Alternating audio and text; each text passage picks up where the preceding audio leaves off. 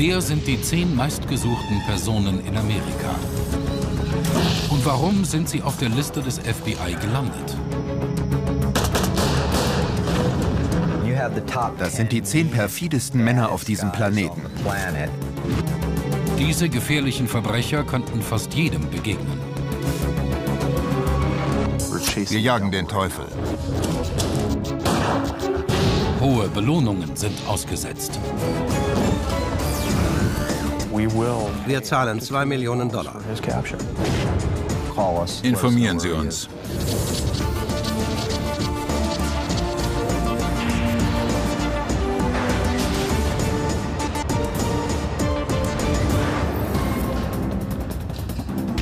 Das FBI hat 56 Außenstellen. Über 13.000 Agenten arbeiten für die amerikanische Bundeskriminalpolizei. Die Agenten und Kriminaltechniker werden auf höchstem Niveau ausgebildet. Doch eines der erfolgreichsten Instrumente des FBI basiert auf einem ganz einfachen Konzept. Mit einer Top-10-Fahndungsliste sucht man nach den gefährlichsten flüchtigen Straftätern. Die Aufmerksamkeit der Bevölkerung ist für die Ermittlungskräfte immer noch das beste Mittel von allen. Seit die Liste 1950 eingeführt wurde, sind bereits über 490 Verdächtige dort registriert worden. Jeder auf dieser Liste stellt eine Gefahr dar. Doch als besonders gefährlich gelten bereits Verurteilte, die aus der Haft geflohen sind. Die stehen extrem unter Druck. Sie schießen auf Polizisten, entführen Leute oder stehlen Autos, in denen hinten Babys liegen. Wenn ein Häftling ausbricht, läuft beim FBI eine ganze Maschinerie an. Meistens mit Erfolg. James Earl Ray erschoss Martin Luther King. Nach der Bluttat stand dieser Mörder 1968 sieben Wochen lang auf der Liste. Dann wurde er gefasst. Neun Jahre später erscheint sein Name dort erneut, nachdem er aus seinem Gefängnis in Tennessee geflohen ist.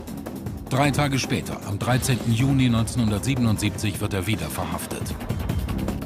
Etwa ein Viertel der zehn meistgesuchten waren entflohene Häftlinge. Über 90 Prozent konnten gefasst werden. Darunter auch einer der berüchtigsten Serienmörder der USA, Ted Bundy. Nach Angaben des FBI hat Ted Bundy innerhalb von neun Jahren 36 Frauen ermordet. Er war ein völlig kranker Mensch und einer der raffiniertesten Serienmörder aller Zeiten. 16. August 1975.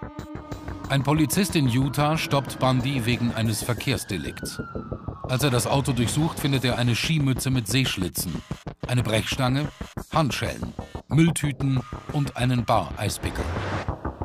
Die Behörden liefern Bundy nach Colorado aus, wo er wegen Mordes gesucht wird. Doch fünf Monate vor Prozessbeginn gelingt Bundy die Flucht aus seinem Gefängnis in Glenwood Springs.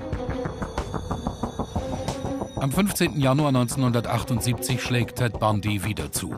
Er ermordet zwei Frauen in der Studentenvereinigung Chi Omega der Florida State University. Von Alaska bis Florida hatten die Leute Angst vor ihm. Er konnte in jeder Stadt und jedem College auftauchen. Sofort setzt das FBI Bundy auf die Fahndungsliste. Beim FBI hieß es, wir müssen den Kerl kriegen.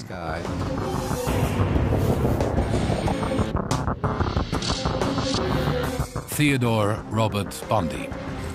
Flüchtiger Nummer 360, auf die Liste gesetzt am 10. Februar 1978.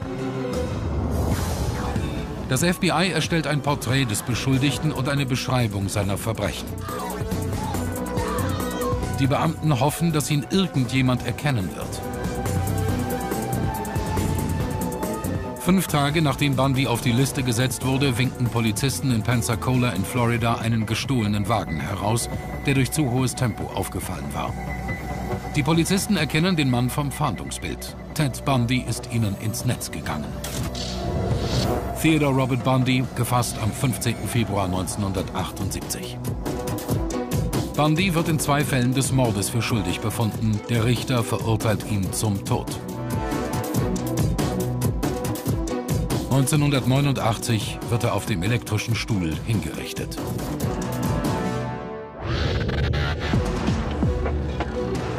Das FBI erstellt keine Rangfolge auf der Liste der zehn meistgesuchten. Doch wir werden einen nach dem anderen präsentieren. Unsere Nummer 10 ist ebenfalls aus der Haft geflohen.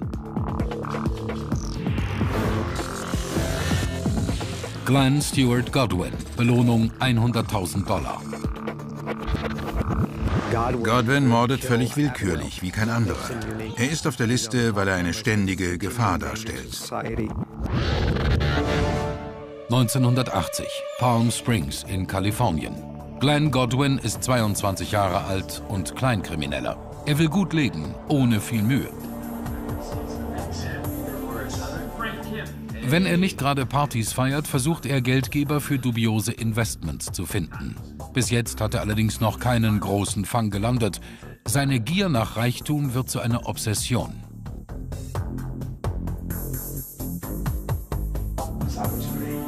18. August. Godwin und sein Mitbewohner haben einen Drogendealer in ihr Apartment eingeladen. Aber das Treffen nimmt eine unerwartete Wendung. Godwin drehte durch.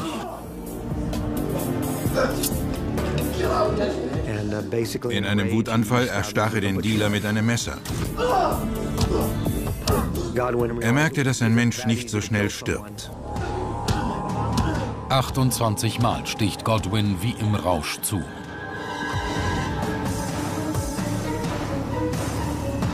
Dann bringen er und sein Mitbewohner die Leiche in die Wüste, um die Tat zu vertuschen. Doch die Polizei kann die verkohlte Leiche identifizieren. Vor Gericht belastet der Mitbewohner Godwin und sagt, dieser sei der gefährlichste Mann, der ihm je begegnet ist. Glenn Stewart Godwin wird des Mordes für schuldig befunden.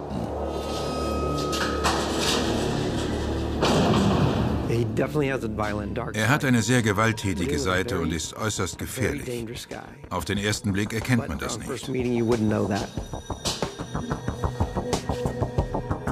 Godwin unternimmt mehrere Fluchtversuche. Die Behörden von Kalifornien verlegen ihn in ein Hochsicherheitsgefängnis, Folsom State. 1985 heiratet Godwin eine langjährige Freundin, Shirley Rose. Sie soll ihm bei der Flucht helfen. Am 5. Juni 1987 flieht Godwin durch diesen Kanaldeckel. Ein Wachmann löst Alarm aus.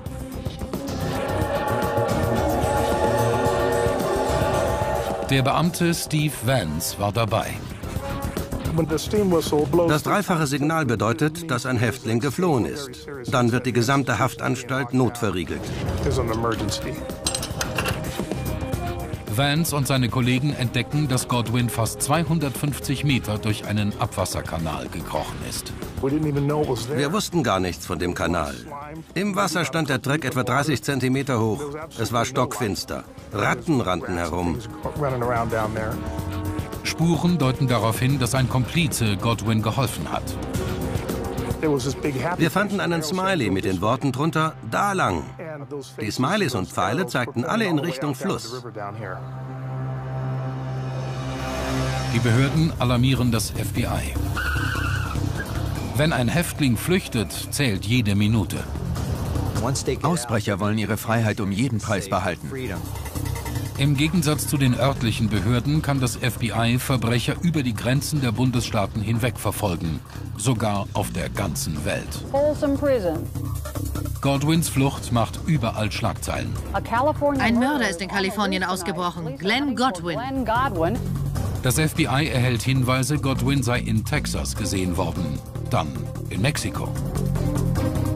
November 1987. Mexikanische Polizisten verhaften Godwin in Puerto Vallarta wegen Drogenhandel. Die US-Behörden verhandeln mit der mexikanischen Regierung, um Godwin in die USA ausliefern zu lassen.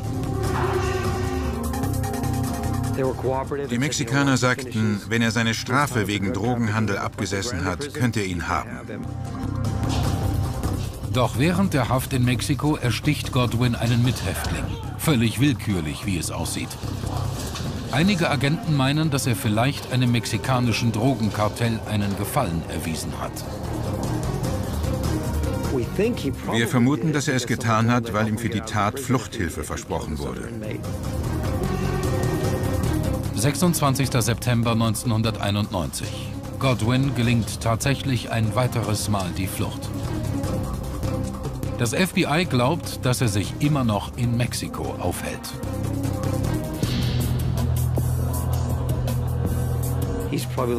Viele spricht dafür, dass er nicht schlecht lebt und in kriminelle Machenschaften im großen Stil verwickelt ist. Er soll Geld haben und ist vielleicht in Nachtclubs unterwegs.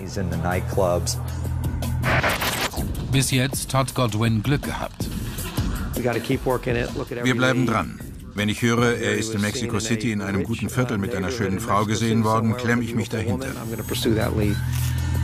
Das FBI setzt Godwin auf die Liste der zehn meistgesuchten. Er ist Nummer 447. Sein Profil entspricht in allen Punkten den Anforderungen der Liste. Der Grad an Gewalt spielt eine Rolle. Ist der Flüchtige immer noch eine Gefahr? Kann er vielleicht dank der Liste verhaftet werden? Seit über 15 Jahren sucht man ihn schon. Der Steckbrief lautet folgendermaßen. Glenn Stewart Godwin, geboren am 26. Juni 1958. Haarfarbe schwarz oder graumeliert, Augenfarbe grün. Größe 1,82 Meter, mittlere Statur. Godwin spricht fließend Spanisch und hält sich vermutlich in Mexiko oder anderen Ländern Mittel- und Südamerikas auf. Belohnung 100.000 Dollar. Godwin ist extrem eitel und legt großen Wert auf sein Äußeres. Er kann sehr charmant sein und bringt andere dazu, das zu tun, was er will. Das Problem ist seine hohe Gewaltbereitschaft.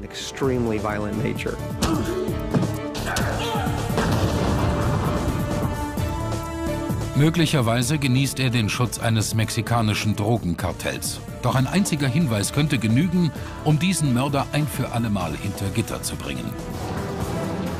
Jeder Mörder ist anders, doch viele sehnen sich nach Macht und Kontrolle, die sie nur beim Töten ausleben können.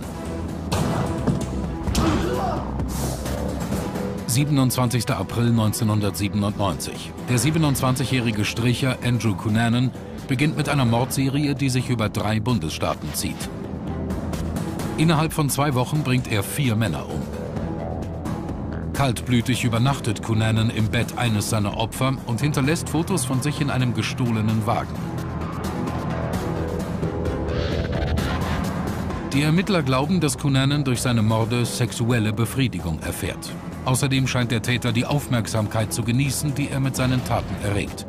Das FBI setzt Cunanan auf die Liste der zehn meistgesuchten. Andrew Philip Cunanan, Gesuchter Nummer 449, auf der Liste seit dem 12. Juni 1997. Die Ermittlungsbehörden im ganzen Land arbeiten fieberhaft daran, den Mörder zu fassen. Diese Fahndung übertrifft alles bisher Dagewesene. Cunanan steht gerade mal vier Wochen auf der Liste, als er den weltbekannten Modeschöpfer Gianni Versace vor dessen Haus in Miami erschießt.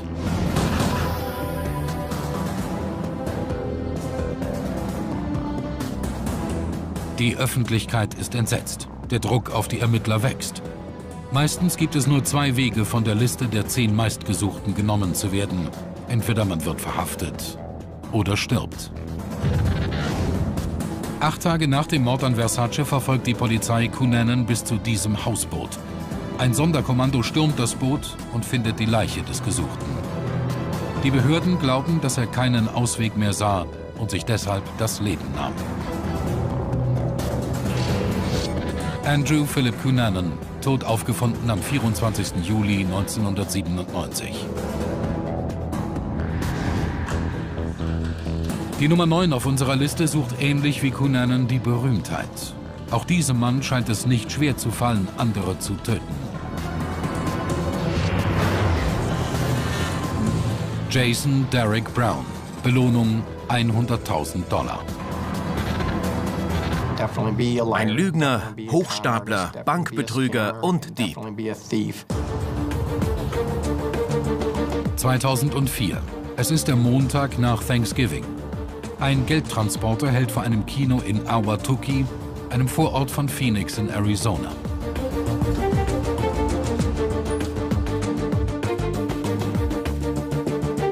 Der 24-jährige Keith Palomares geht in das Kino, um das Bargeld abzuholen. Durch den Feiertag ist in der Kasse mehr als sonst.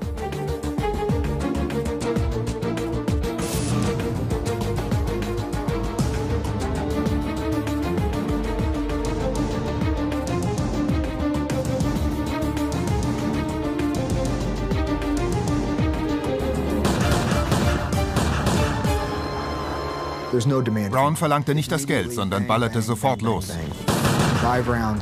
Er hat den Mann wortlos mit mindestens fünf Schüssen getötet.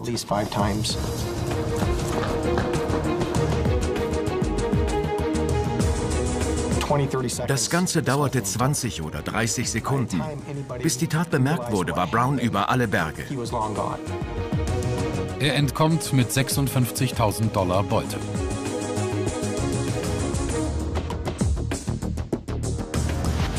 Sein Opfer wird eilig ins Krankenhaus geflogen, stirbt aber noch vor der Ankunft.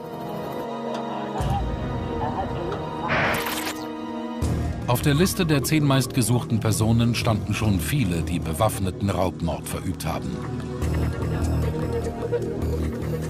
Im Laufe der Zeit haben sich Brutalität und Grausamkeit verschärft. Die Verbrechen nehmen immer schlimmere Formen an. In den 70er Jahren versetzten vor allem Serienmörder die Öffentlichkeit in Angst und Schrecken. In den 80ern und 90ern nahm die organisierte Drogenkriminalität immer mehr zu. Dann der internationale Terrorismus. Doch kaltblütige Raubmorde gehören immer noch zum FBI-Alltag.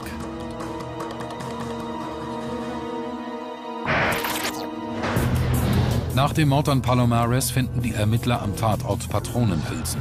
Diese Spezialmunition weist eine extra hohe Durchschlagskraft auf. Keith Palomares hatte keine Chance. Diese Patronen für Handfeuerwaffen haben besonders verheerende Folgen. In der Nähe des Tatorts finden die Ermittler das Mountainbike des Raubmörders. Kriminaltechniker untersuchen es auf Fingerabdrücke und werden fündig. Es sind die des 35-jährigen Jason Derrick Brown. Eine Warnung an die Bevölkerung von Phoenix wird herausgegeben. Erste Hinweise treffen ein. Ein Hotelangestellter erinnert sich, dass er Brown in einem teuren Auto gesehen hat. Ein Mountainbike im Kofferraum. Bankraub wird auf nationaler Ebene verfolgt. Das FBI schaltet sich ein. Special Agent Lance Lysing untersucht Browns Vorgeschichte, um so vielleicht auf seinen möglichen Aufenthaltsort schließen zu können. Das Ziel eines jeden Ermittlers lautet, lerne den Verdächtigen so gut kennen wie dich selbst. Ich stelle mir vor, wo ich selbst hingehen würde, wenn ich Jason Brown wäre. Er ist mir sehr vertraut. Lysing entdeckt, dass Brown aus dem Schema der meistgesuchten Straftäter herausfällt. Er ist gebildet, Brown hat Wirtschaftswissenschaften studiert und spricht fließend Französisch. Aber auch in krimineller Hinsicht ist er nicht unbeleckt durch seinen Vater. Sein Vater hat ihm beigebracht, wie man mit Hochstapelei und Betrug durchkommt. Bereits als Kind wurde er von seinem Vater dazu angehalten, Ladendiebstahl zu begehen. So finanziert sich Brown mit illegalen Mitteln ein angenehmes Leben. Er fährt schicke Autos und ist Stammgast in edlen Nachtclubs. Er gab gerne an, mit Booten, Jeeps oder seinem Quad. Bezahlt hat er alles mit ergaunertem Geld. Er wollte oben schwimmen, hatte aber nicht den Job, um so ein Leben zu führen. Er versteckte sich hinter einer Mauer von Lügen. Trotzdem verdient Brown mit seinen Betrügereien nicht genug, um seinen extravaganten Lebensstil zu halten. Wahrscheinlich brauchte er dringend viel Geld. Brown wird immer verzweifelter. Das haben Angehörige und Freunde beschrieben. Er soll sogar über Selbstmord nachgedacht haben. Das FBI erfährt, dass Brown Ende 2004 tief verschuldet war und in Salt Lake City im Bundesstaat Utah lebte. Die Ermittler vermuten, dass er hier die Entscheidung fällte, einen Raubüberfall zu begehen. Da hat er wohl auf das große Geld gehofft. Er hatte sich das wie eine tolle Belohnung vorgestellt. Vielleicht hatte er dasselbe nochmal vor.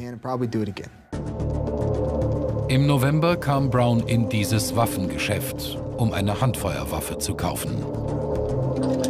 Clark Aposhian hatte an jenem Tag Dienst. Er fragte mich, welche der Waffen von Glock besonders druckvoll ist, aber trotzdem klein genug, um sie zu verbergen. Brown behauptete großspurig, er würde sich bestens mit Schusswaffen auskennen. Brown absolviert das vorgeschriebene Training für das Tragen von verborgenen Waffen. Wie es das Gesetz in Utah vorschreibt, werden seine Fingerabdrücke gespeichert. Dann kauft er Spezialmunition. Danach, so vermuten die Ermittler, ist er wahrscheinlich nach Phoenix gefahren und spähte dort das Kino aus. Er hat die Umgebung des Kinos beobachtet. Mehrere Zeugen haben ihn zwei Wochen vor der Tat dort gesehen. Vermutlich hat er notiert, zu welchen Zeiten der Geldtransporter kam. Er hat alles genau geplant. Dann wartete er, bis der Kurier das Geld geholt hatte, erschoss ihn und flüchtete. Die Videoüberwachung einer Bank in Nevada zeigt Brown nach dem Raub, wie er 2000 Dollar einzahlt. Keine Woche später entdecken die Behörden, dass sich Brown bei seiner Schwester in Orange County in Kalifornien aufhält. Wir wussten, wo er war und beeilten uns, um ihn zu fassen. FBI-Agenten stürmen das Haus. Doch leider haben Kollegen von der Polizei die Überraschung verdorben. Ah, er hatte erfahren, dass er gesucht wurde. Die Polizei in Phoenix hatte den Fall in einer Pressekonferenz als gelöst präsentiert. Im Januar 2005 findet man Browns Cadillac auf einem Parkplatz des Flughafens von Portland in Oregon. Das FBI setzt Jason Derrick Brown im Dezember 2007 auf die Liste der zehn meistgesuchten Personen. Wegen seiner guten Bildung und Fremdsprachenkenntnisse gelingt es ihm besser als anderen unterzutauchen. Er kann überall sein. Er spricht Französisch. Vielleicht ist er in Quebec oder in Frankreich. Dank der FBI-Liste bekommen wir die Aufmerksamkeit der internationalen Medien. In diesem Fall bin ich auf die Hilfe der Polizeibehörden und FBI-Büros auf der ganzen Welt angewiesen. Vermutlich wird sich Brown nicht kampflos ergeben. Seiner Schwester hat er gesagt, ich gehe nie ins Gefängnis.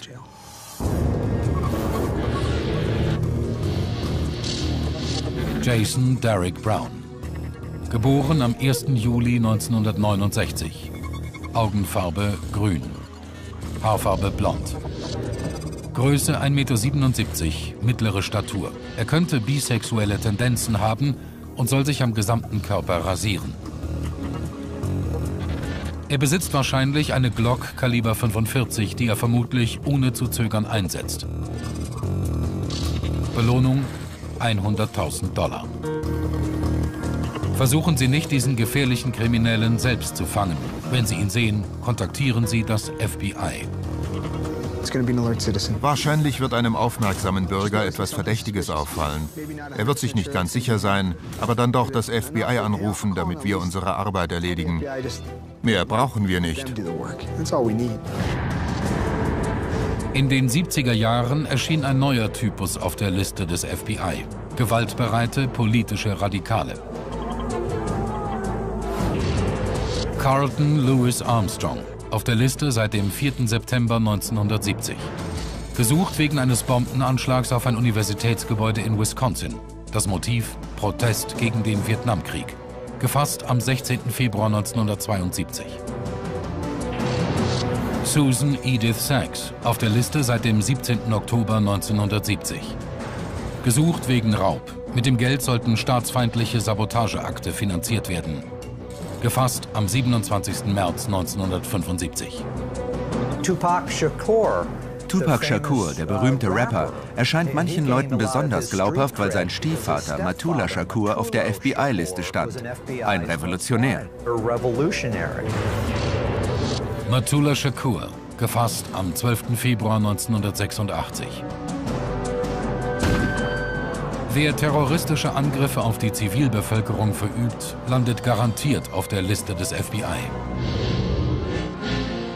Juli 1996. In Atlanta finden die Olympischen Sommerspiele statt.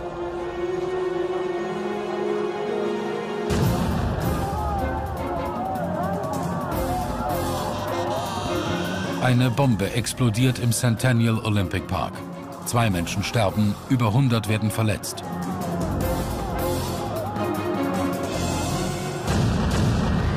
Zwei weitere Bomben gehen in Atlanta hoch, in einer Abtreibungsklinik und in einer Schwulenbar. Experten analysieren die Überreste der Bomben und stellen fest, alle Attentate hängen zusammen. Die Spuren führen zu diesem Mann, Eric Rudolph. Er gehörte einer fundamentalistischen christlichen Gruppe an, die sich vehement gegen Homosexuelle, den Staat und gegen Abtreibung einsetzte. Da gab es also eine Verbindung. Das FBI setzt Rudolph auf die Liste der zehn meistgesuchten. Belohnung eine Million Dollar. Eric Robert Rudolph, Gesuchter Nummer 454. Auf der Liste seit dem 5. Mai 1998.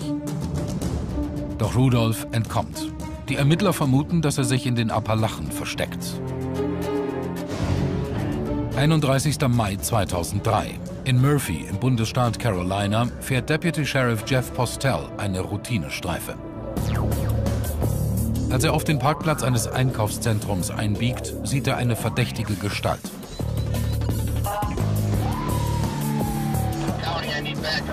Postel fordert Verstärkung an.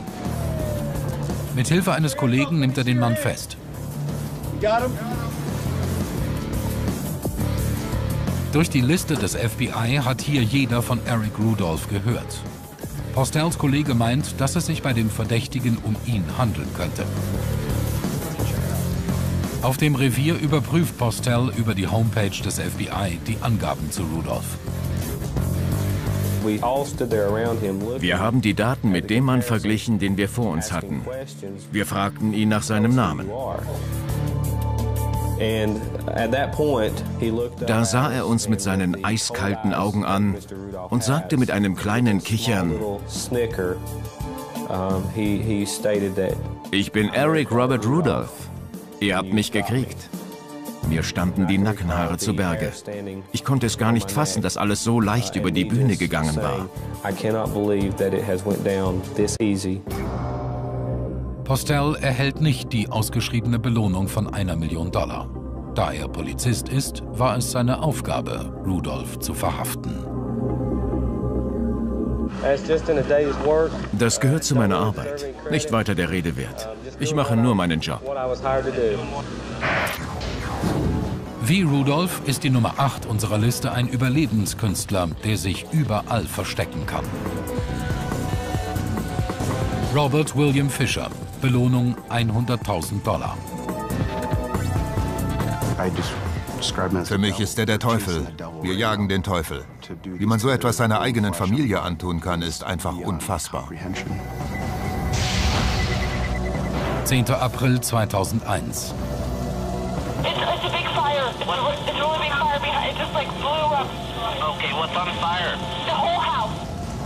Das Haus von Robert und Mary Fisher in Scottsdale im Bundesstaat Arizona brennt lichterloh. Mary Fishers Eltern eilen herbei. Wir fuhren sofort los und haben gebetet, dass alle in Sicherheit sind. Als die Feuerwehrleute den Schutt des völlig niedergebrannten Hauses absuchen, machen sie einen grausigen Fund. Sie finden die verkohlten Leichen von Mary Fisher, der zwölfjährigen Brittany und des zehnjährigen Robert Jr. Doch keine Spur von Robert Fisher Senior. Als wir die Leichen bargen, merkten wir, dass etwas faul war. Unter ihnen fanden wir große Mengen Blut. Das hatte mit einem Tod durch Verbrennen nichts zu tun. Die Polizei hat einen dreifachen Mord aufzuklären.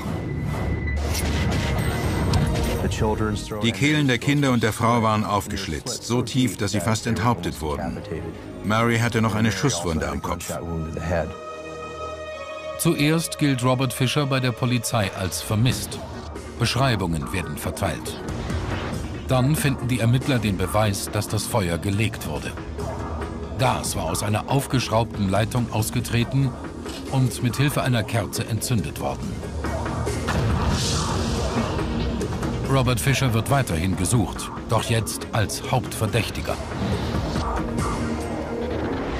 Wie konnte er das meiner Mary und den beiden Kleinen antun? Er ist ein Monster. Wir glauben, dass Robert Fisher Arizona verlassen hat, vielleicht sogar die USA.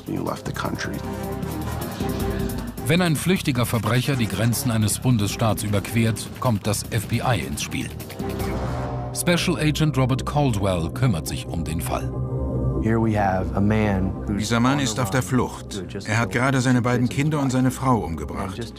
Weil er so ein besonders grausames Verbrechen begangen hat, wollen wir ihn natürlich möglichst schnell fassen. Bobby! Bob! You want to get on my shoulders and I'll jump off the board? Robert Fisher war ein erfolgreicher Atemtherapeut. Er hatte keinerlei Vorstrafen. Familienvideos zeigen ihn als liebevollen Vater. Hier spielt er mit seinem Sohn Bobby. Und hier feiert er mit seiner Tochter Brittany deren fünften Geburtstag. Fischer geht gern mit seinen Freunden angeln und jagen. Er hat den Ruf, besonders viel Wert auf Pünktlichkeit und die Einhaltung von Regeln zu legen. Doch als die Ermittler Fischers Hintergrund etwas näher beleuchten, ergibt sich ein beunruhigendes Profil. Fischer war ein autoritärer Vater und dominanter Ehemann. Er sprang sehr streng mit seiner Familie um. Im Haus musste alles nach seinem Willen geordnet sein. Er bestimmte, was an die Wände kam und verbot seiner Frau, Bilder aufzuhängen, die die Kinder gemalt hatten. Er wollte dort lieber den Kopf eines Tieres sehen, das er getötet hatte.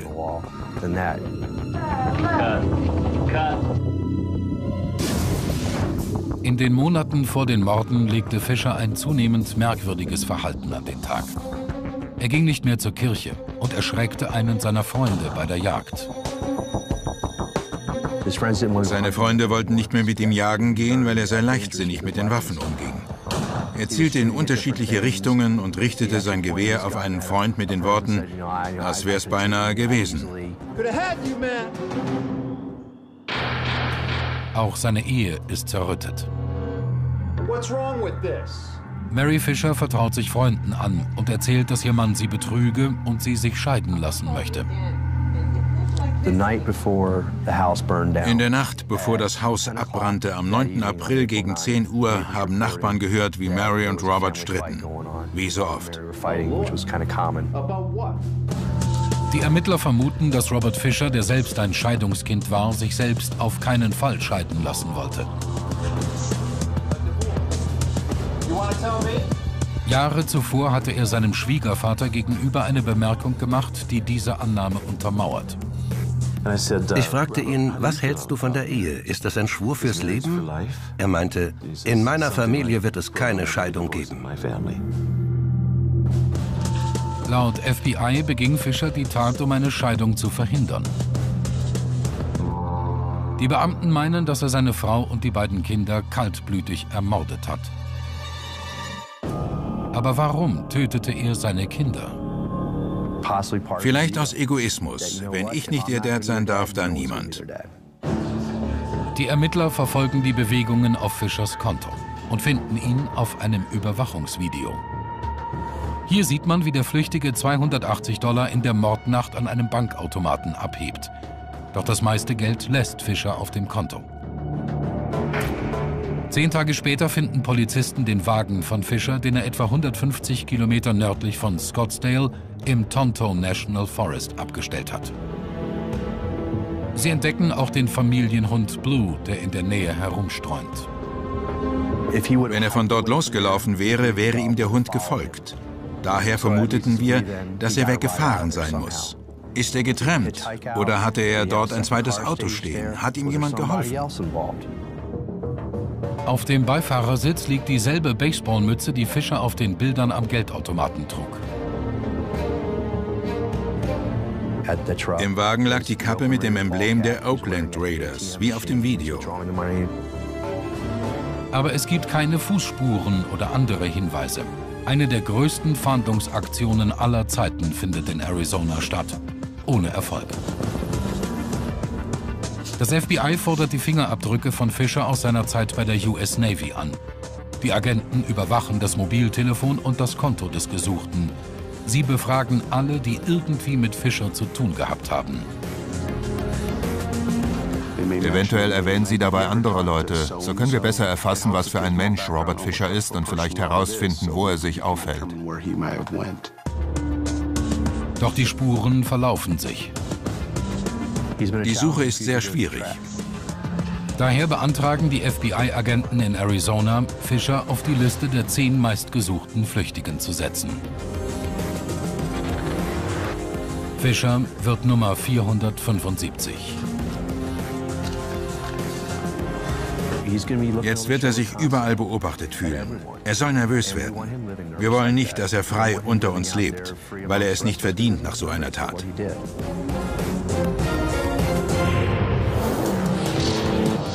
Robert William Fisher, geboren am 13. April 1961.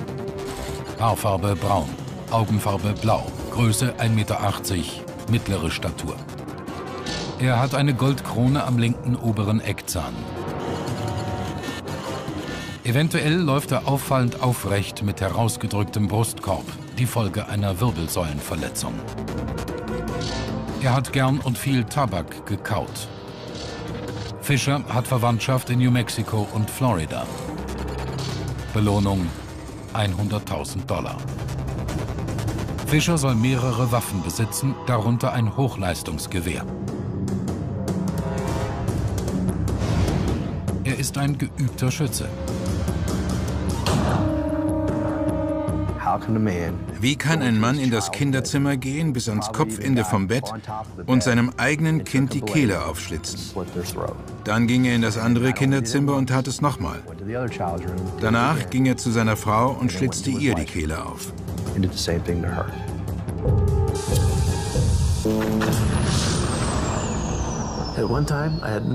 Früher habe ich ihn geliebt, aber jetzt ist er für mich ein Monster.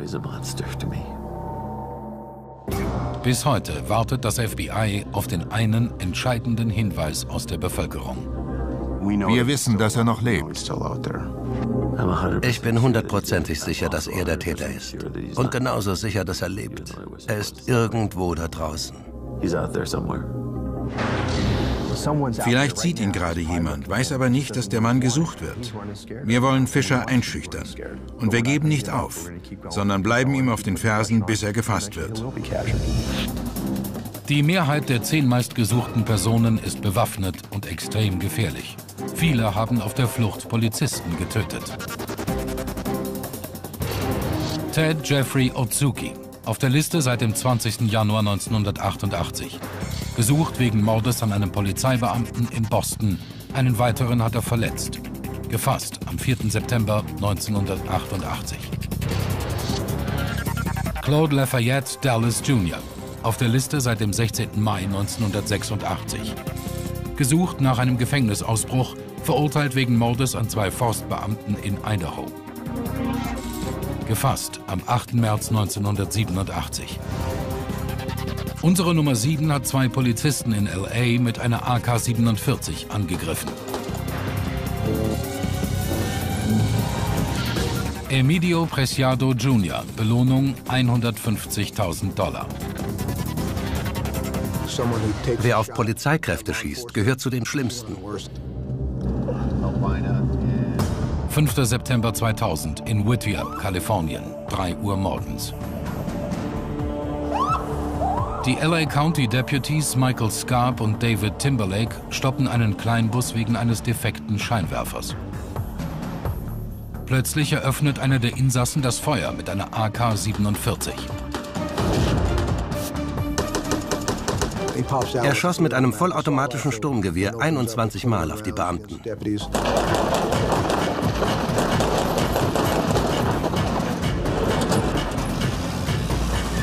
David Timberlake hat Glück und bleibt unverletzt. Doch sein Kollege Michael Scarp erleidet einen Kopfschuss. Ich schrie, bleib bei mir, stirb nicht. Sprich mit mir, damit ich weiß, dass du noch da bist. Eine Ambulanz bringt Scarp ins Krankenhaus. Sein Zustand ist kritisch. Beamte schwärmen vom Tatort aus auf der Suche nach den Angreifern. Sie entdecken den Kleinbus, der in der Nähe abgestellt worden ist. Und sie kommen allen Insassen auf die Spur. Nur einem nicht, dem Schützen. Die Ermittler verhören die anderen und erfahren den Namen des Flüchtigen. Emidio Preciado Jr. Dieser 30-jährige Berufskriminelle ist seit langem Mitglied einer Gang und vielfach vorbestraft. Er hatte schon wegen illegalen Waffen- und Drogenbesitzes und Mord gesessen. Preciado hat viele Spitznamen, zum Beispiel Trigger und Sniper. Die Polizei meint, dass Preciado nach Mexiko geflohen ist. Das FBI wird alarmiert. Das FBI ist laut Bundesgesetz zuständig, wenn jemand versucht, der Rechtsprechung zu entgehen. Wir haben vor allem in Mexiko nach ihm gesucht, weil es da Hinweise gab. Dann kommt der Beweis, dass Preciado tatsächlich die Grenze nach Mexiko überquert hat. Ein Informant spielt den Agenten ein Video zu, das den Verdächtigen beim Tanzen in Tepuzuacan zeigt.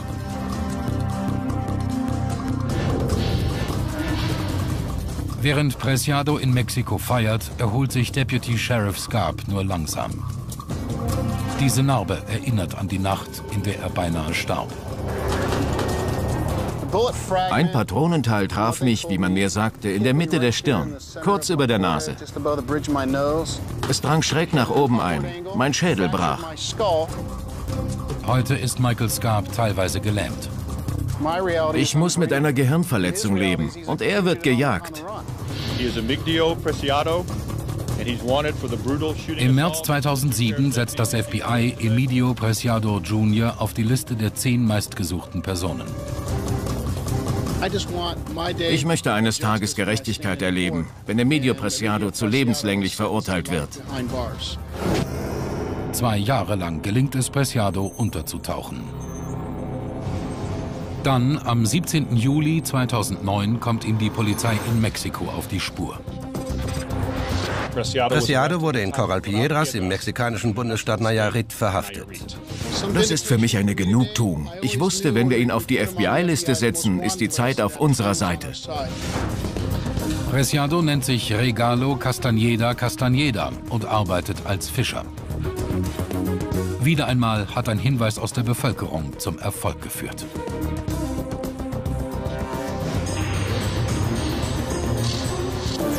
Emidio Preciado Jr., gesucht wegen versuchten Mordes. Gefasst am 17. Juli 2009. Seit den 50er Jahren standen nun bald 500 flüchtige Straftäter auf der Liste der zehn meistgesuchten. Die Erfolgsquote der Fahndungsliste liegt bei 90 Prozent.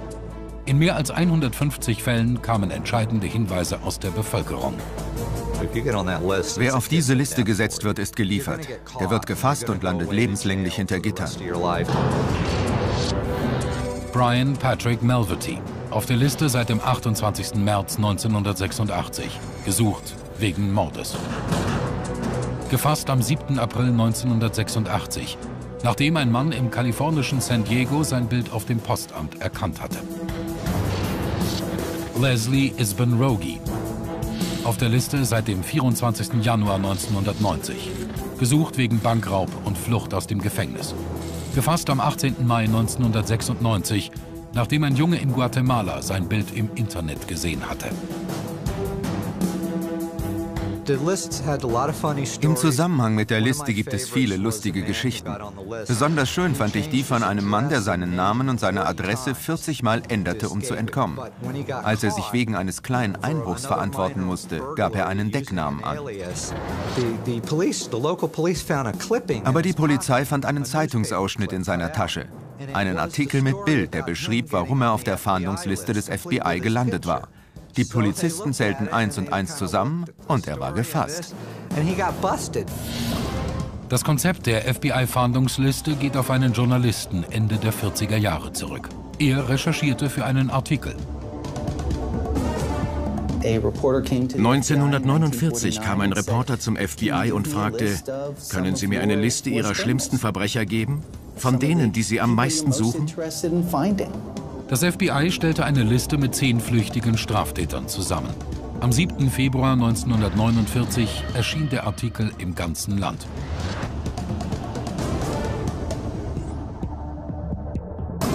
Wenig später liefen beim FBI die Telefonleitungen heiß. Kurz darauf folgten die Ermittler einem Hinweis aus der Bevölkerung und nahmen den ersten fest.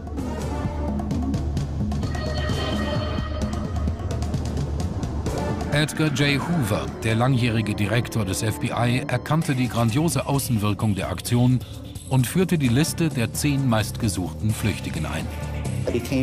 Das funktionierte so gut, dass man beim FBI meinte, diese hervorragende Idee werden wir weiterverfolgen. Während die Liste früher vor allem in Postämtern aufgehängt wurde, ruft man sie heutzutage in der Regel im Internet ab. Jeden Monat sehen sich Millionen auf der ganzen Welt die Homepage des FBI an. Wenn man Straftäter und Verdächtige dort auflistet, erreicht man viel mehr Menschen als in den Postämtern vor 30 oder 50 Jahren. Aber genau wie früher sehen sich die Leute heute die Bilder an, weil sie das Böse fasziniert. Jeder will wissen, was für Verbrechen die Gesuchten verübt haben. Das Anliegen der FBI-Liste hat sich nicht verändert. Die ganze Welt soll auf diese Menschen aufmerksam gemacht werden. Diese Aufmerksamkeit ist besonders wichtig, wenn es in einem Fall überhaupt nicht vorangeht. Wie zum Beispiel in der folgenden Geschichte. Die Wüste am Snake River Canyon in Idaho ist wenig einladend. Hier, so könnte man meinen, bleibt ein Verbrechen vielleicht unentdeckt. Und genau darauf soll unsere Nummer 6 nach Angaben des FBI spekuliert haben. Jorge Alberto Lopez Orozco. Belohnung 100.000 Dollar. Er ist ein eiskalter Mörder, der Kinder umbringt. 11. August 2002. Zwei Fischer entdecken ein ausgebranntes Autowrack. Bei genauerem Hinsehen erkennen sie ein verkohltes menschliches Skelett auf dem Beifahrersitz. Sie rufen die Polizei. Die Beamten finden die Überreste eines Erwachsenen und von zwei Kindern. Alle drei sind aus nächster Nähe erschossen worden. Die Spurensicherung findet heraus, dass es sich um Rebecca Ramirez und ihre Söhne handelt, den vierjährigen Ricardo und den zweijährigen Miguel. Wie konnte jemand den Kindern und der Frau so etwas Barbarisches antun? Nur Stunden vor ihrem Tod sind Rebecca Ramirez und ihre beiden Söhne in Gesellschaft von Jorge Lopez Orozco gesehen worden, Rebeccas Liebhaber. Die Polizei schreibt eine Fahndung aus. Da die Beamten fürchten, der Verdächtige könne nach Mexiko geflüchtet sein, ziehen sie das FBI hinzu. Ein Special Agent der Behörde rekapituliert, wie sich die Ereignisse abgespielt haben könnten. Juli 2002. Lopez Orozco fährt seine Freundin mit ihren beiden Kindern heim nach Mountain Home, als er plötzlich einen unerwarteten Umweg einschlägt. Er stellt den Wagen ab und erschießt Rebecca und die zwei Jungen. So die Vermutung des FBI.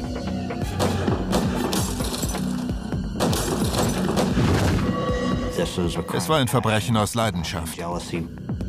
Dann steckt er das Auto in Brand. Ich kann mir kaum vorstellen, wie jemand es über sich bringt, zwei Kleinkinder zu töten. Die Ermittler vermuten, dass Lopez Orozco seine Freundin und ihre zwei Söhne getötet hat, weil Rebecca herausgefunden hatte, dass er ein Doppelleben führte. Er ist verheiratet und auch Vater. Sie hatte ihm ein Ultimatum gestellt. Entweder du trennst dich von deiner Frau oder ich sage ihr, dass du eine Affäre hast. Wenn alle Kinder von Rebecca dabei gewesen wären, hätte er alle ermordet. Er hat die Gelegenheit genutzt. Es gab keine Zeugen. Er konnte abhauen. Er wirkt etwas geheimnisvoll, begeht diese Morde und verschwindet. 2005 setzt das FBI Lopez Orozco auf die Fahndungsliste. Unter anderem auch, weil ihn die Ermittler gar nicht einordnen können. Hier ist sein Steckbrief. Jorge Alberto López Orozco. Geboren am 22. April 1976 in Mexiko. Haarfarbe schwarz, Augenfarbe braun, Größe 1,70 Meter. López Orozco hat Verwandte in San Jose, in Kalifornien, in Idaho und in Mexiko. Belohnung 100.000 Dollar.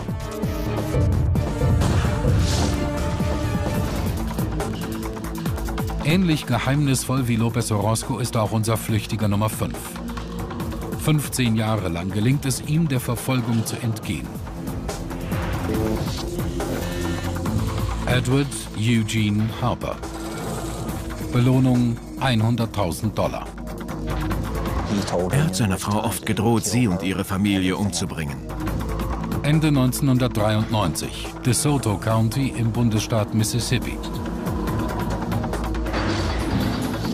Lkw-Fahrer Edward Harper und seine 19-jährige Frau nehmen regelmäßig zwei Nachbarskinder in ihre Obhut. Der 47-jährige Harper arbeitet nur Teilzeit und passt freiwillig auf die beiden Mädchen auf. Für diese Kinder war er eine Vaterfigur. Sie nannten ihn Onkel Eddie oder sogar Daddy. Er hat die Situation ausgenutzt. Harper soll die Mädchen ab einem bestimmten Zeitpunkt sexuell missbraucht haben. Erst hat er einschlägige Wörter benutzt, die die Kinder nicht kannten.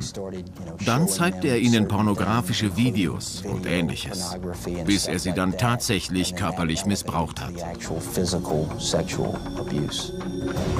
Harpers Frau entdeckt, was ihr Mann treibt und will ihn anzeigen. Außer sich vor Wut droht Harper damit, sie und ihre Eltern umzubringen, wenn sie das tut. Dann erzählt eines der Mädchen seiner Mutter davon, was Harper mit ihnen macht. Diese informiert sofort die Polizei. Harper beschließt zu flüchten. Wenn ein Verdächtiger untertaucht, alarmieren die lokalen Behörden das FBI.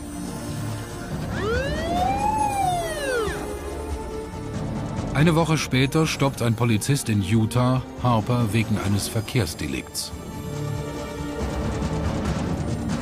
Der Beamte merkt, dass er es mit dem Flüchtigen aus Mississippi zu tun hat. Harper wird nach DeSoto County zurückgebracht. Dort hinterlegt er eine Kaution, verlässt die Stadt aber noch vor Prozessbeginn. Dieses Mal verwischt er sorgfältig seine Spuren. Vier Jahre lang gelingt es den Ermittlern nicht, ihn ausfindig zu machen. 1998 erfährt das FBI, dass Harper in einem Telefonat mit seiner Schwester erzählt hat, er arbeite auf einer Ranch. Er sagte allerdings nicht, wo. 14 Jahre lang entgeht Harper der Verfolgung. Seine Angehörigen sagen, er habe jeden Kontakt abgebrochen. Um den Sexualstraftäter endlich zur Rechenschaft ziehen zu können, setzt ihn das FBI 2008 auf die Liste der zehn meistgesuchten. Wir erhofften uns davon, auf diese Weise zusätzliche Informationen zu bekommen. Die Rechnung geht auf. Im Juni 2009 erhält die FBI-Außenstelle Denver einen telefonischen Hinweis. Harper wird nach acht Monaten auf der Liste gefunden. Der mittlerweile 63-Jährige hatte sich in den Bighorn Mountains in Wyoming versteckt. Seine Angehörigen beschreiben ihn als Einzelgänger und Überlebenskünstler. Harper war sehr paranoid. Wenn er sich zum Beispiel für eine Stelle bewarb, wollte er nie persönliche Daten angeben. Edward Eugene Harper. Gesucht wegen sexuellen Missbrauchs mit Körperverletzung. Gefasst am 23. Juli 2009. Im Laufe der Jahre konnte das FBI mit Hilfe der Liste die unterschiedlichsten Kriminellen fassen. Darunter einen Polygamisten, der mindestens 40 Frauen geheiratet haben soll. Das ist eine der bizarrsten Geschichten mit großen politischen Verwicklungen. Juni 2005. FBI-Agenten suchen nach dem Vorsteher einer fundamentalistischen Mormonensekte, Warren Steed Jeffs. Warren Jeffs war der Leiter eines konservativen Mormonenclans, der sich aus religiösen Gründen weigerte, die amerikanischen Gesetze zu befolgen. Die Behörden verdächtigen Jeffs, in seiner Sekte sexuellen Missbrauch von Minderjährigen gebilligt zu haben. Es gibt Beweise, dass er öffentlich für Polygamie warb. Die Ermittler vermuten, dass Jeffs minderjährige Mädchen mit älteren Männern verheiratete. Als er merkte, dass man ihm auf die Spur kam, verlagerte er seine Praktiken an einen anderen Ort. Er wollte so lange wie möglich an ihnen festhalten. Über ein Jahr lang kann er den Ermittlern entkommen. Das FBI setzt ihn schließlich auf die Top 10 Fahndungsliste. Im August 2006 wird Jeffs bei einer Routine-Verkehrskontrolle bei Las Vegas festgenommen. Er war einer der meistgesuchten im ganzen Land und fuhr mit einem nagelneuen Cadillac durch die Gegend, mit getönten Scheiben und dem Kennzeichen des Autohändlers. Da war er unterwegs mit seinen Perücken und zwölf Mobiltelefonen, seiner gesamten Ausrüstung für die Flucht.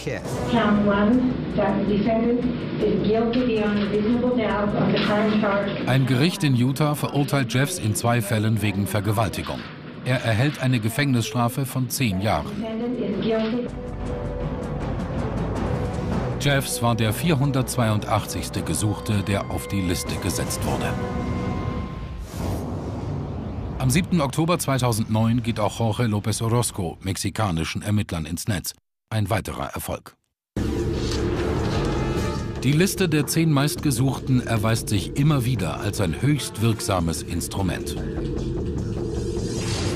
Christopher Bernard Wilder.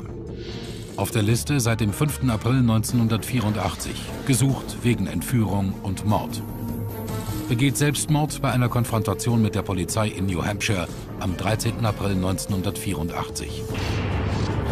Elton Coleman, auf der Liste seit dem 11. Juli 1984. Gesucht wegen Entführung und Mord an einem neunjährigen Mädchen.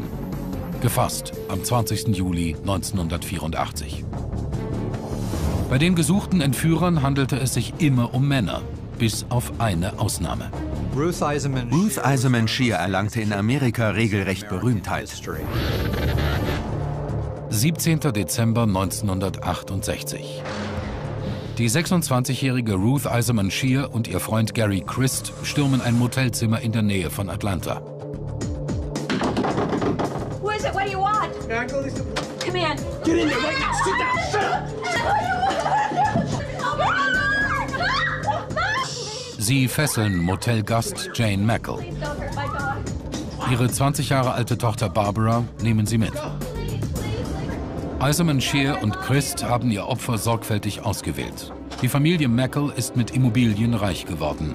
Das Duo will 500.000 Dollar Lösegeld für die Freilassung Barbaras fordern. Dieses Foto legen die Entführer ihrer Forderung bei. Dann begraben sie die junge Frau lebendig. Sie haben ihr einen Vorrat an Getränken und Nahrung dagelassen und für ausreichende Belüftung gesorgt. Zwei Tage später bezahlt der Vater der Entführten das Lösegeld. Das FBI erhält Anweisungen, wo Barbara zu finden ist. Die junge Frau lebt noch, als Agenten sie befreien.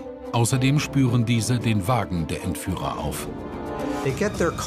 Im Auto lag unter anderem der Pass von Ruth Eiserman Shear. Daneben fanden die Ermittler Sexfotos, die die Leidenschaft des Paares dokumentierten. Damit kannte man nicht nur die Namen der beiden Entführer, sondern auch jedes einzelne körperliche Merkmal der beiden. Am 28. Dezember 1968 wird Ruth Eiserman Shear als erste Frau auf die Liste der zehn meistgesuchten gesetzt.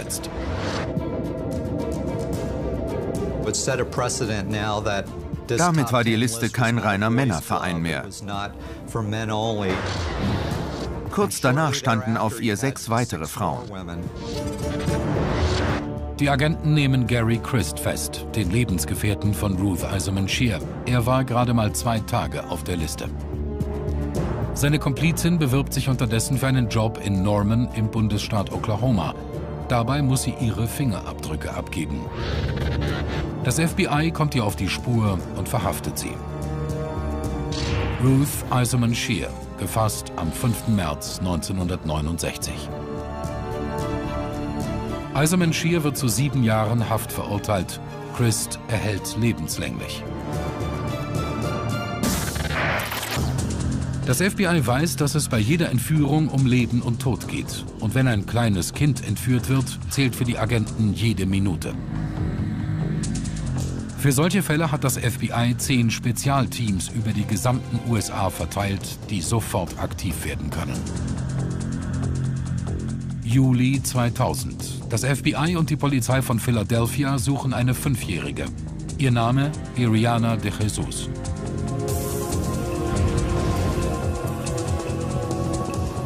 Alle Nachbarn halfen bei der Suche. Sie klingelten bei jedem Haus. Die Polizei schickte ein Riesenaufgebot. Arianas Mutter Lisa Swain de Jesus hat ihre Tochter das letzte Mal gesehen, als sie vor ihrem Haus spielte. Sie ist von einem Moment zum nächsten verschwunden. Unfassbar. Ein Nachbar hat gesehen, wie die Kleine mit einem Fremden Hand in Hand davonging. Dieser Fremde ist unsere Nummer 4 auf der Liste.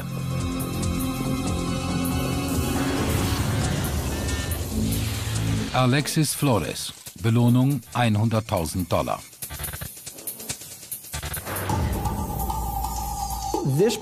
So eine Situation ist für alle Eltern grauenvoll. Man sieht einen Moment nicht hin und das Kind ist weg. Sechs Tage nach dem Verschwinden von Iriana fällt einem Bauarbeiter in diesem Gebäude ein durchdringender Gestank auf. Er dachte, ein Nagetier sei in einem der Räume verendet. Doch der Verwesungsgeruch geht von der Leiche eines Kindes aus, die von einer Mülltüte bedeckt ist.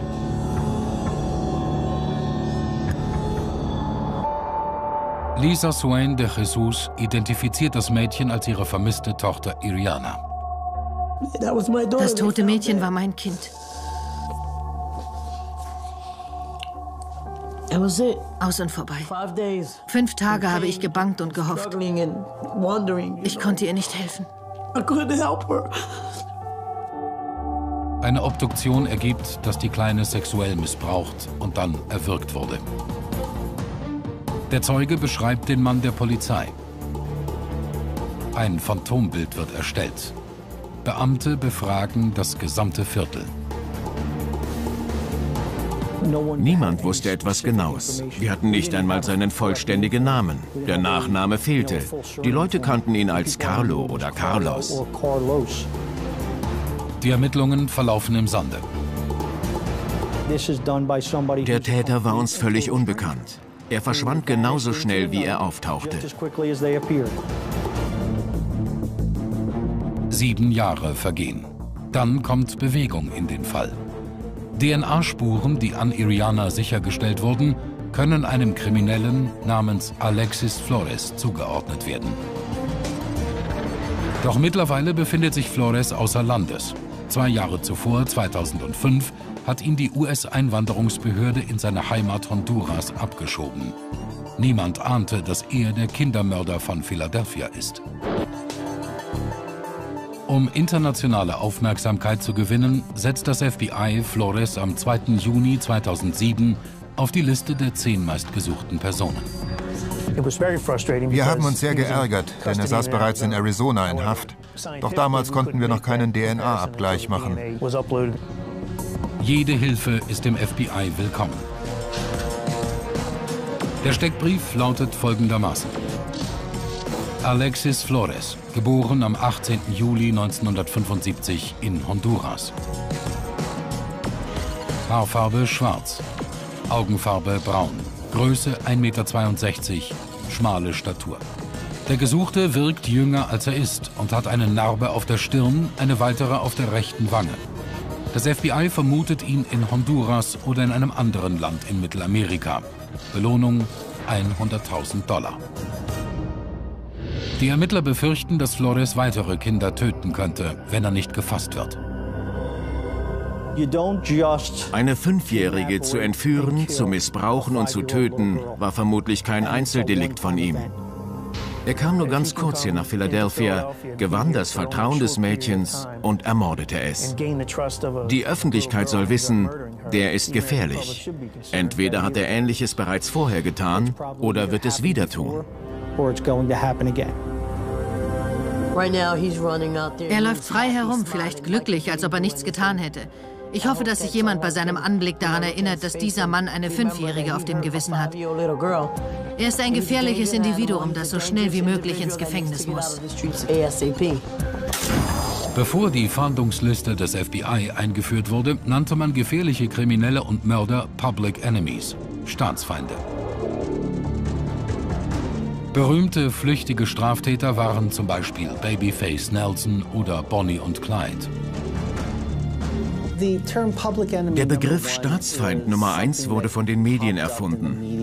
In den 30ern war er besonders gebräuchlich, bei Al Capone und John Dillinger. Das FBI hat diesen Begriff eigentlich nicht benutzt.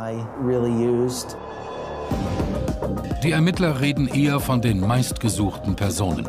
Und die Nummer 3 in unserem Countdown hätte zu jeder Zeit als brutaler Top-Krimineller gegolten.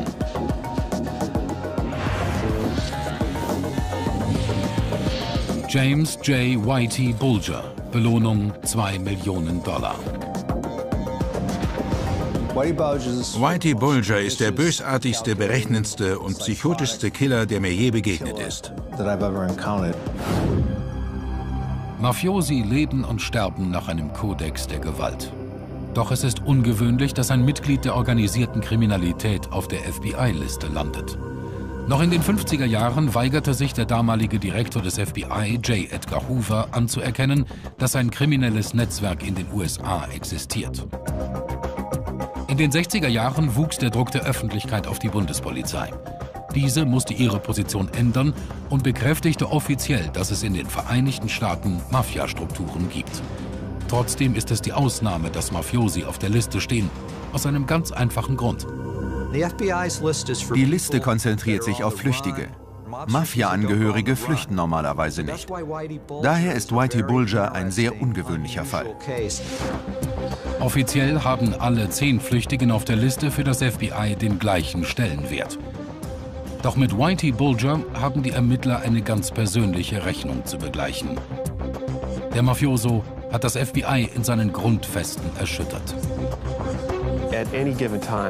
Mindestens sechs Vollzeitermittler sind durchgehend und ausschließlich damit beschäftigt, James Bulger aufzuspüren.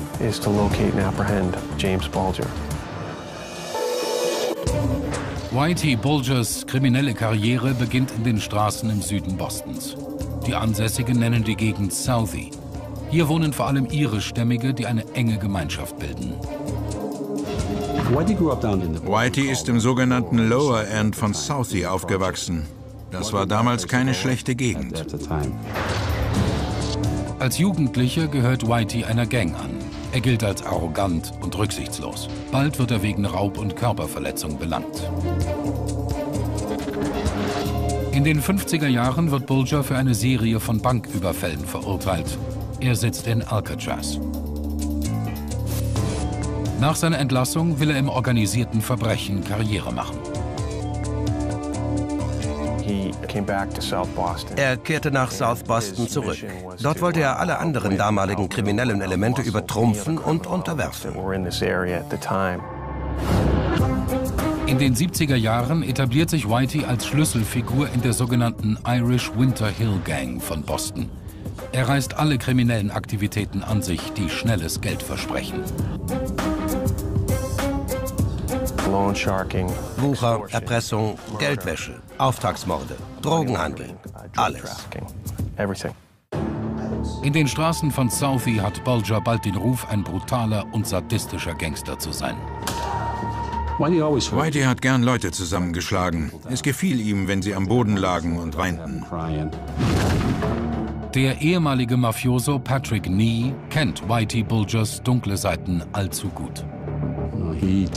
Er hat es zutiefst genossen, wenn sich jemand vor Angst in die Hose machte.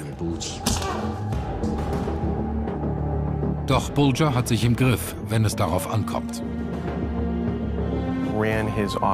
Er legte bei seinen Aktionen eine große Disziplin an den Tag. Er trank und spielte nicht und nahm keine Drogen. Bulger umgibt sich mit loyalen Schlägern wie Kevin Weeks. Für mich war er ein Freund und Mentor. Jahrelang gehört Kevin Weeks zum engsten Kreis um Bulger. Er hat seinen gewalttätigen Chef oft genug in Aktion erlebt. Er tötete Menschen auf unterschiedlichste Arten. Er erschoss sie, er stach sie, er schlug sie mit Knüppeln. Er überfuhr jemanden mit dem Auto, wie es ihm gerade passte. Die irische Mafia treibt in Boston erfolgreich ihr Unwesen. Doch das FBI ist vor allem damit beschäftigt, die italienischstämmigen Mafiosi zu verfolgen. 1975 arrangiert der FBI-Agent John Connolly ein geheimes Treffen mit Whitey Bulger. Wie Bulger ist auch Connolly auf den Straßen von Southie groß geworden. Die beiden kennen sich aus Kindheitstagen. Connolly fragt den irischen Mafioso, ob er dem FBI Informationen über die italienische Konkurrenz liefern möchte. Für Whitey ist das eine unverhoffte Gelegenheit. Er hilft dem FBI, seine Feinde auszuschalten. Im Gegenzug bekommt er einen direkten Draht zur Bundespolizei. Das war eine perfekte Symbiose. Bulger benutzte das FBI wie seinen persönlichen Schlägertrupp, um seine Feinde loszuwerden. Agent Connolly weitet den Deal aus. Er verspricht Bulger im Geheimen, ihn vor allen Ermittlungen zu schützen. So gelingt es Whitey, sich an die Spitze der Winter Hill Gang zu setzen. Er wird der gefürchtetste irische Mafiaboss von Boston. Ungestört regiert er in den Straßen im Süden der Stadt mit Terror und Gewalt. Sein früherer Komplize Kevin Weeks erzählt, dass Whitey und er dieses Haus zum Morden benutzten. Sie nannten es das Spukhaus. Keiner kam gern hierher. Wer hier auf uns traf, wurde getötet. Kein schöner Ort. Doch Whitey will seine Mordlust nicht auf den Süden Bostons beschränken. Bulger und die Winterhill Gang erpressen über eine Million Dollar Schutzgeld von einem Sporthallenbetreiber. Als 1978 ein neuer Manager aus Oklahoma das Center übernimmt, Roger Wheeler, soll mit Whiteys lukrativen Einnahmen Schluss sein. Bulger erteilt den Auftrag, Wheeler zu ermorden. Zwei Winterhill Gang-Mitglieder fuhren nach Oklahoma und erschossen Roger Wheeler, als er einen Golfplatz verließ. Er wollte in sein Auto steigen, da feuerten sie. Connolly schützt Bulger fast 20 Jahre lang vor der Verfolgung des FBI.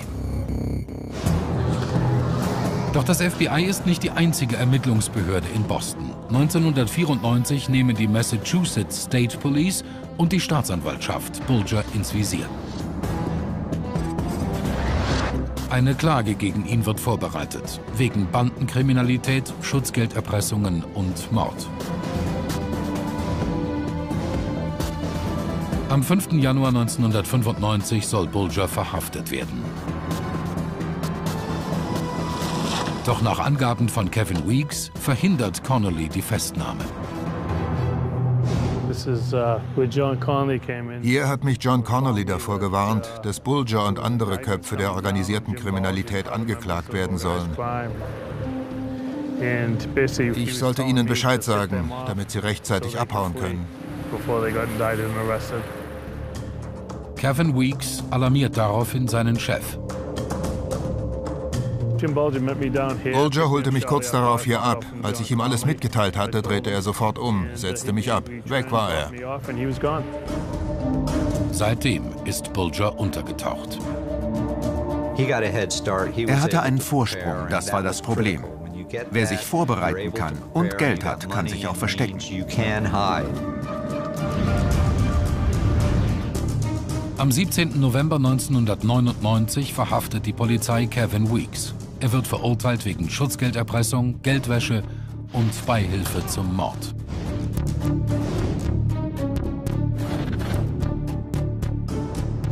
Er kooperiert mit den Ermittlern und wird zu fünf Jahren Gefängnis verurteilt. Im Jahr 2000 führte die Massachusetts State Police zu drei Gräbern an dieser Schnellstraße außerhalb von Boston. Die Beamten brachten Bagger und Zelte, um die Leichen zu bergen. Sie fanden sie genau da, wo ich es ihnen gezeigt hatte. Das FBI meint, dass 19 Morde auf Whitey Bulgers persönliches Konto gehen. Wenn er es sich in den Kopf gesetzt hatte, jemanden zu töten, dann gab es für denjenigen keine Chance. Mord gehörte zum Geschäft. Für James Bulger war Mord ein Mittel zum Zweck. Wer seine Organisation gefährdete, starb. Im September 2002 wird FBI-Agent John Connolly zu zehn Jahren Haft verurteilt, wegen Bandenkriminalität und Behinderung der Justiz. Connolly hatte völlig die Kontrolle verloren. Bulger was the puppet master. Bulger hat Connolly wie eine Marionette tanzen lassen. In einem Bericht für den Kongress heißt es, die korrupte Verbindung zwischen FBI und Bulger sei einer der Tiefpunkte in der Geschichte der Bundeskriminalpolizei gewesen. Die Agenten des FBI glauben, dass Bulger die USA verlassen hat. Um die Suche auszuweiten, wird der Flüchtige am 19. August 1999 auf die Liste der zehn meistgesuchten gesetzt. Die Liste der Top Ten hat mittlerweile international Wirkung. So können wir auf diesen Mann zu Hause und im Ausland aufmerksam machen. Nach Angaben des FBI hat Bulger große Geldsummen in Banksafes rund um die Welt untergebracht. Bulger ist geschickt genug, um nicht zu lange an einem Ort zu bleiben. Hier macht er einige Anrufe, da wechselt er das Hotel und dann ist er schon wieder woanders. Das FBI hat Tonaufnahmen und Videos von Bulger auf seine Homepage gestellt. Vielleicht erkennt ja jemand seine Gestik oder Stimme. Can I speak to Jack? Thank you. Hi Jack, is there any rentals up at that place up across from uh, Kelly's? Okay, gonna find out now. I think that's the Marine Park, they call it. Uh, what do they call it, the Marine Park? Dies ist sein Steckbrief. James Whitey Bulger. Geboren am 3. September 1929. Bulger hat einen auffallend verfärbten Vorderzahn, Größe zwischen 1,70 Meter und 1,75 Meter. Er benutzt viele Decknamen. Bulger liest sehr gern und interessiert sich für Geschichte. Außerdem ist er ein großer Tierfreund. 2008 erhöhte das FBI die ausgesetzte Belohnung für Bulgers Festnahme von einer Million auf zwei Millionen Dollar. Bulger könnte in Begleitung seiner langjährigen Lebensgefährtin Catherine Greek unterwegs sein.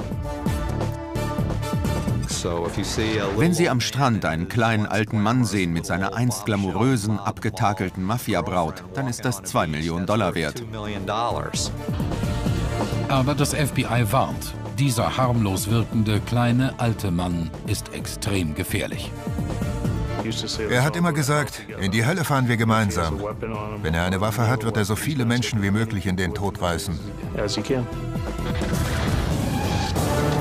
Im Zuge der Bekämpfung des weltweiten Terrorismus arbeitet das FBI heute auch daran, Terrorangriffe zu verhindern, die außer Landes geplant werden. Ein Terrorplan kann zum Beispiel in Afghanistan ausgearbeitet werden. Terroristen werden aus aller Herren Länder rekrutiert. Und weil das so ist, wird die Liste internationaler. Unsere Nummer zwei war einer der ersten Terroristen mit internationalen Verbindungen, die per Liste gesucht werden.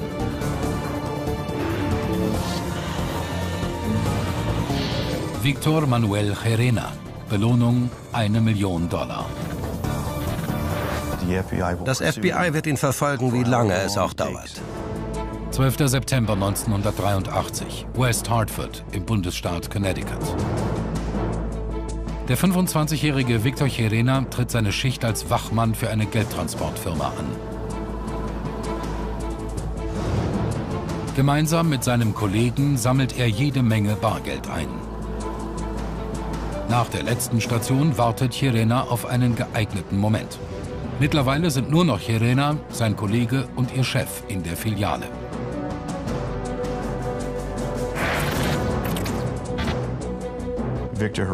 Victor Cherena zog dem Filialleiter die Pistole aus dem Halfter, richtete sie auf dessen Kopf und sagte, tun Sie, was ich sage, sonst erschieße ich Sie. Er legt seinem Chef Handschellen an und fesselt seinen Kollegen. In den folgenden anderthalb Stunden belädt Helena sein Auto mit einer halben Tonne Bargeld.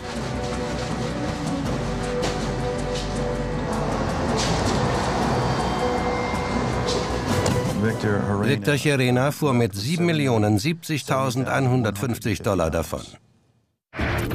Am nächsten Tag findet man Cherenas Wagen, von ihm selbst und dem Geld aber keine Spur. Er ist verschwunden. Bewaffnete Raubüberfälle scheinen ein Klassiker zu sein, wenn jemand schnell reich werden will. Das FBI übernimmt die Ermittlungen. Special Agent Wally Salisbury stellt ein detailliertes Profil des Flüchtigen zusammen. Auf den ersten Blick wirkt Cherena nicht wie ein Krimineller. Er hat keinerlei Vorstrafen und bei der Firma etwa ein Jahr lang ohne Vorkommnisse gearbeitet. Dann findet das FBI Hinweise, dass Cherena ein Doppelleben führte. Als Agenten Telefonate der Revolutionsbewegung Los Macheteros in Puerto Rico abhören, trauen sie ihren Ohren nicht. Der Überfall auf die Geldtransportfirma wird genau beschrieben. Dabei fällt auch der Name Victor Cherena. Es stellt sich heraus, dass Cherena das Geld für Los Macheteros geraubt hat. Diese kämpfen für Puerto Ricos Unabhängigkeit von den USA. Bevor das FBI Cherena aufspüren kann, helfen Mitglieder der Bewegung ihm nach Mexiko zu fliehen und von dort nach Kuba. Dort endet die Spur. Kuba hat keine diplomatischen Beziehungen mit den USA und liefert nie Kriminelle an die Vereinigten Staaten aus. Das FBI meint aber, dass Cherena eventuell Kuba verlassen möchte. Für diesen Fall will man vorbereitet sein. Wir hoffen, dass die Bevölkerung aufmerksam ist und den Behörden Bescheid sagt, wenn er gesehen wird. Uh, und dies ist sein Steckbrief. Victor Manuel Cherena, geboren am 24. Juni 1958, Haarfarbe braun, Augenfarbe grün, Größe 1,70 Meter. Cherena hat eine zweieinhalb Zentimeter lange Narbe und einen Leberfleck auf dem rechten Schulterblatt. Dieses Bild wurde 1983 aufgenommen und so sieht Cherena vermutlich heute aus. Cherena steht bereits so lange auf der Liste wie keiner vor ihm. Er ist vermutlich zu allem bereit, um der Verhaftung zu entgehen. Das FBI hält ihn für einen gewalttätigen Kriminellen mit terroristischem Hintergrund. Deswegen ist eine besonders hohe Belohnung ausgesetzt worden. Für den entscheidenden Hinweis gibt es eine Million Dollar. Es mag vielleicht unwahrscheinlich klingen, dass terroristische Straftäter, die international vernetzt sind, mit Hilfe der Liste gefasst werden können. Aber genau das ist in der Vergangenheit tatsächlich im Fall eines weltweit berüchtigten Attentäters gelungen. 26. Februar 1993, New York. Eine Bombe in einem Kleinbus versteckt explodiert in der Tiefgarage des North Towers vom World Trade Center. Sechs Menschen sterben, über 1000 werden verletzt. Die Ermittler verhaften einen der Terroristen, als er bei der Autovermietung die hinterlegte Kaution für den Kleinbus abholen will. FBI-Agenten spüren drei weitere Mitglieder der Terrorgruppe auf. Sie erfahren, dass der Kopf der Gruppe, Ramzi Youssef, die USA am Abend nach dem Attentat verlassen hat. Da fingen wir an, überall auf der Welt nach ihm zu fahren. Terrorismusexperte Fred Burton entdeckt, dass Youssef ausgefeilte Terrorpläne geschmiedet hat. Er war eine Ein-Mann-Terrorshow und enorm fähig. Das FBI setzt Youssef auf die Liste der zehn meistgesuchten, auf einem zusätzlichen Extraplatz. Als Belohnung werden zwei Millionen Dollar ausgeschrieben. Das FBI bittet Ermittlungsbehörden auf der ganzen Welt um Unterstützung.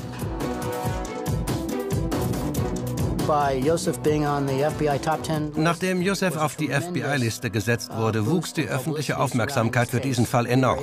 Seinen Steckbrief kannte die ganze Welt. Im Februar 1995 nimmt ein Mann namens Ishtayek Parker in Islamabad in Pakistan Kontakt mit einem US-Diplomaten auf. Youssef hatte versucht, ihn für seine Terrororganisation zu rekrutieren.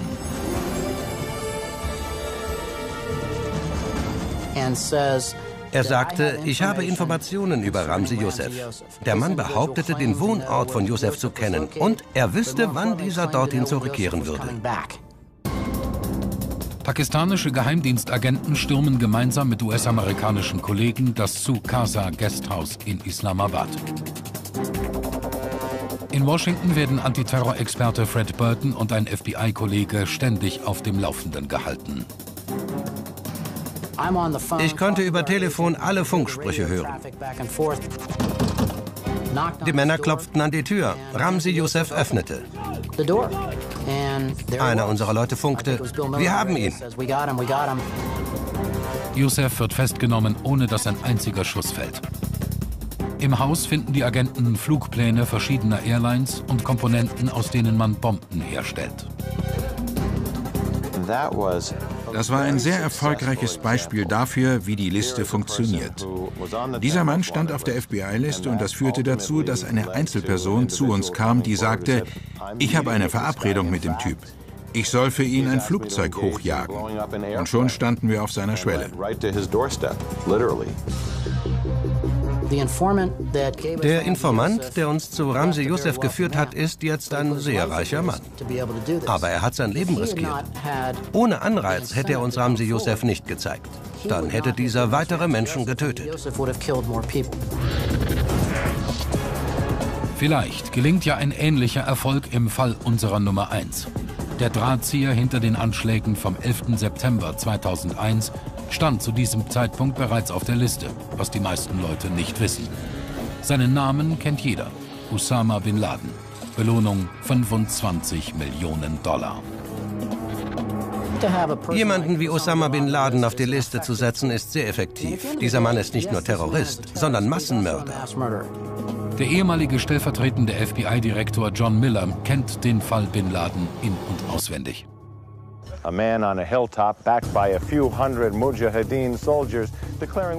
1998 interviewte Miller persönlich als Fernsehreporter Osama bin Laden in Afghanistan. Wir halten die Amerikaner für die größten Diebe auf der Welt. One thing that was clear was eines war sehr deutlich. Alle Männer, die Bin Laden umgaben, ob es seine engen Vertrauten waren oder ob sie zum Fußvolk gehörten, verehrten ihn fast wie einen Gott. Sie hätten alles für ihn getan und ihr Leben für ihn geopfert. Wir unterscheiden nicht zwischen Menschen in Uniform und Menschen in Zivilkleidung. Alle kommen nach der Fatwa als Ziel in Frage. Diese Botschaft galt den USA. Bin Laden hat unserem Land den Krieg erklärt und er wollte, dass die amerikanische Bevölkerung diese Kriegserklärung hört. Nur drei Monate nach diesem Interview soll Bin Laden zwei Bombenattentate auf die US-Botschaften in Nairobi und Dar es Salaam initiiert haben. Mehr als 200 Menschen starben. Juni 1999. Das FBI setzt den Al-Qaida-Führer auf die Liste der zehn meistgesuchten Personen. Eine Belohnung von 5 Millionen Dollar wird auf jeden Hinweis ausgesetzt, der zu seiner Verhaftung führt.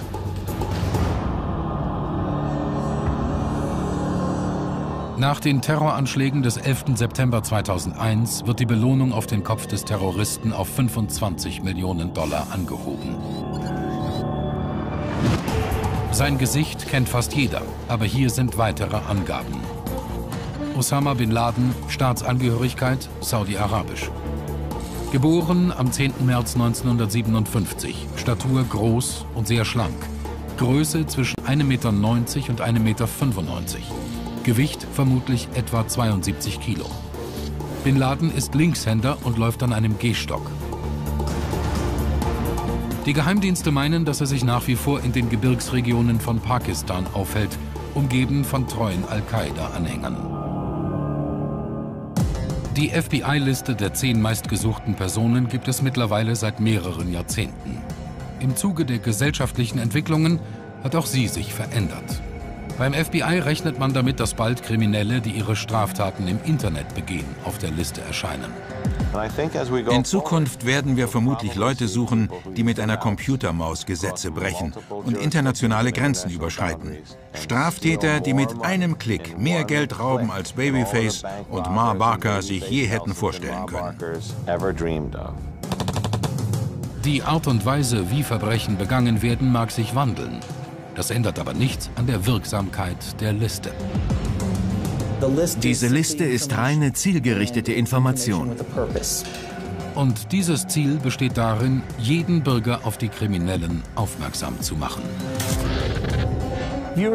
Zuschauer können das FBI im Internet kontaktieren oder ein Büro vor Ort.